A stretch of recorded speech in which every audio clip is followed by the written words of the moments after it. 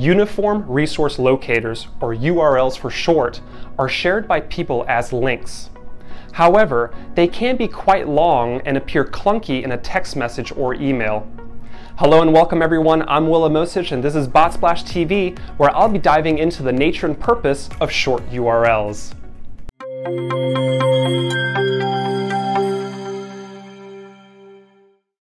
What is a short URL or URL shortening? It is a technique in which you substantially make smaller a URL link while still being able to direct a person to that link's required page. The brevity of short URLs proves advantageous when wanting to share links with clients and prospects, but without having to send them a long tech jargon filled link.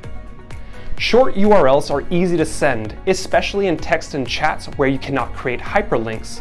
That is, linking a URL to a specific word or part of a sentence within that text or chat. Some sites, such as tinyURL and Bitly, help people with shortening URLs for their communicative outreaches.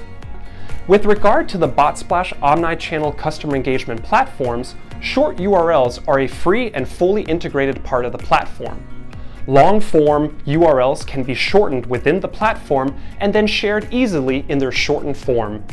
I hope that this short overview of short URLs has been helpful. I'm Will Amosich, and thank you once again for watching BotSplash TV.